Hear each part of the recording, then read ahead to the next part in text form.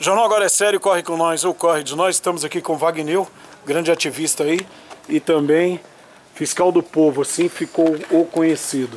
Wagner, a gente confirmou ali agora a portaria de número 100 de 2018 que você foi exonerado. Você pode falar um pouquinho aí sobre sua exoneração? Bom dia, Guto. É, na semana passada eu fui exonerado pelo chefe de gabinete e agora confirmei realmente, estou fora da prefeitura. E o que, que, você pode dizer aí, como que foi essa experiência aí, quanto tempo você ficou aí na atividade? Eu fiquei um ano e dois meses, eu agradeço muito o Aires por ter me dado essa oportunidade de conhecer o lado de dentro do poder público da municipalidade.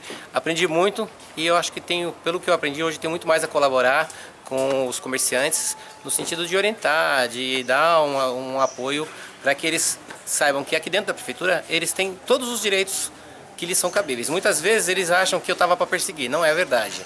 O meu trabalho era para regularizar, organizar e a partir de agora eu estou à disposição também de quem me procurar para dar assistência necessária no sentido de facilitar, facilitar a tramitação. Regularizar a situação, né? É. Agora em relação ao fato, Guto, me deixa muito chateado, sabe, o Aires não tenho nada contra ele, mas o chefe de gabinete deixou muito a desejar. Tá? Eu fui demitido porque eu cumpri uma ordem do prefeito chefe de gabinete no qual que você fala é o Sr. Kennedy? Sim, o Sr. Kennedy. Ele me demitiu na segunda-feira à tarde porque eu cumpri uma ordem do prefeito. O prefeito pediu para você cumprir uma ordem e o chefe de gabinete... Ele disse que eu humilhei o comerciante.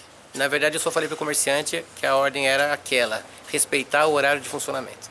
Apesar das pessoas acharem que a decisão é sua, você não, não, não tem decisão nenhuma em cima de algum comerciante, né? De Sempre não. parte ou da secretária de finanças que é responsável pelos tributos do município, ou pelo prefeito, não é isso? Sim, mais do prefeito. Ele, ele me mandava diretamente, ele falava para mim o que era para fazer. Entendeu? Agora, no sentido sempre dentro da lei, ele sabe, ele nunca me pediu nada fora da lei. Nesse um ano e dois meses que eu estive aqui, eu fiz tudo baseado e fundamentado na legislação tributária, código de postura, sempre dentro da lei. Não tem nada que eu possa dizer assim, o prefeito mandou fazer coisa errada. Você acha que você peca pelo fato de você cumprir 100% o seu serviço? 100% à risca. Tem gente que não gosta disso.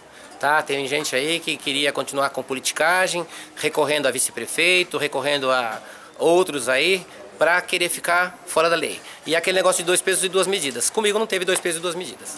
Tranquilo, Wagner, muito obrigado por suas informações e um bom dia.